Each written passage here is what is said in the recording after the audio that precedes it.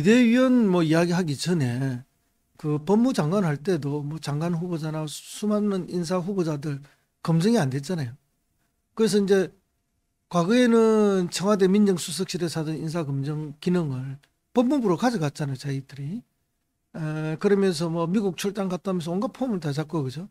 아, 선진적인 검진 시- 검증 시스템을 만들겠다. 뭐 FBI 출장도 가고 뭐 있는 폼 없는 폼 다 잡고 좋은 말은 다 찾아서 거들먹거렸는데 막상 법무장관 할 때도 인사검증이 제대로 된 게 하나도 없잖아요.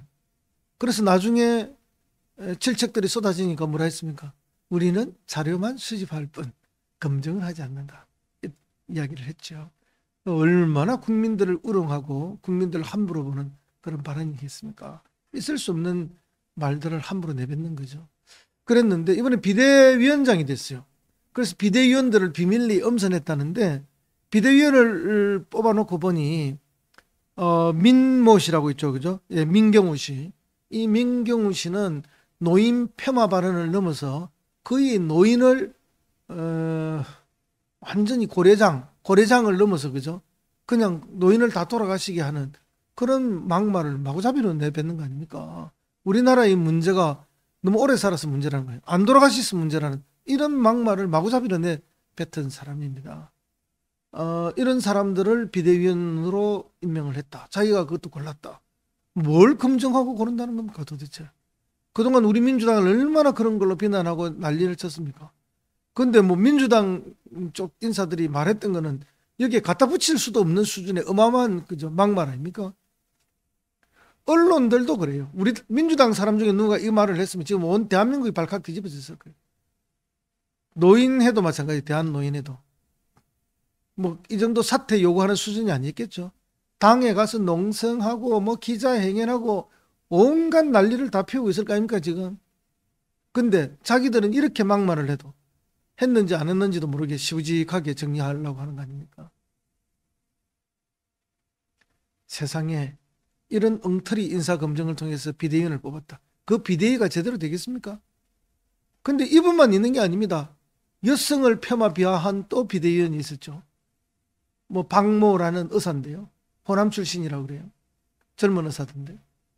이거 뭐 아기 낳는 권리 그죠? 남자한테 있대. 그런 차원에서 남자 중심으로 새로 정책을 해야 된다. 여성들을 완전 비하하는 그런 발언들을 서스럼없이 마구잡이를 했죠. 또 전쟁이 터지면 뭐 어떨 것이다. 이런 이야기. 그 제가 차마 입에 담지도 못하겠습니다. 아, 물론 그런 현실이 있는 건 사실이죠. 그렇지만 그걸 그렇게 함부로 일반적으로 말할 수 있는 것은 아니지 않습니까? 그러니까 거의 뭐 여성을 완전히 무슨 남성의 하나의 도구처럼 생각하는 어, 그런 막가파식, 막가는 남성 우울적 사고와 발언을 일삼는 자를 또 만들어낸 완전 시대에 뒤떨어지고 역행하는 거죠. 이런 비대위를 비대위원을 골라낸 한동훈 아닙니까? 이 비대위원 네, 문 닫는 게 제가 맞다고 생각합니다. 한동훈의 실력이 이것밖에 안 된다 하는 걸 스스로 증명해낸 거 아니겠습니까? 그러면서는 뭐 온갖 특검에 대해서 특검법에 대해서 난리를 지금 치고 있는데요. 당신 할 일이나 잘하시라. 그 말씀 드리겠습니다. 정말로 예, 니할 일이나 잘하세요. 이 말을 드리지 않을 수가 없는 거 아니겠습니까? 예. 그래 놓고는 뭐 이재명 대표 비난하기 바빠요. 그죠? 정말 그 어떤 여당의 비상대책위원장 다시 말해서 대표가 국회에 오면서 내일 이재명 대표를 방문할 건데 오늘 그죠?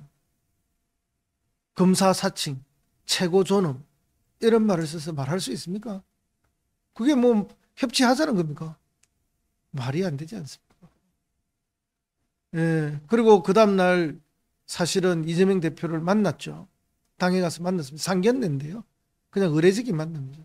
근데 갈 때 보니까 뭐 앉아 있는데 화면에 잡히는 거 보니까 땀이 삐질삐질하고 엄청 긴장한 그런 화면이 잡히는 것 같은데요. 그래서 아, 이 친구가 참 큰 소리 맨날 뻥뻥 치고 잘난 척 하지만 속이 많이 후달리고 있구나. 화면을 통해서 내가 그런 걸 많이 느꼈습니다.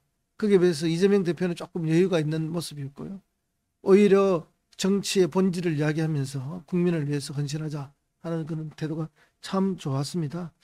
아, 그래서 저는 어, 한동훈 비상대책위원장, 비대위원장이죠. 에, 의 국민의힘은 뭐 잠시는 이 주목을 끌었을는지는 모르지만 국민들로부터 장기적인 신뢰를 받기는 어렵다. 벌써 상당히 무너져 내리고 있다. 이런 말씀을 드리면서 어, 1월 중순쯤만 되면은 지지율이 뚝뚝 떨어질 것이다는 예측을 한번 해보게 됩니다. 그런데요, 그 한동훈 비대위원장이 사실은 비대위원장이 되면서 주어진 목적이 뭐겠습니까? 딱 정해져 있어요. 김건희 보호해라. 그죠? 보호하겠다. 그 다음에 공천에서 영남 중진들 다 잘라내고 검사들로 채우겠다. 뭐 이런 거라고 저는 봅니다.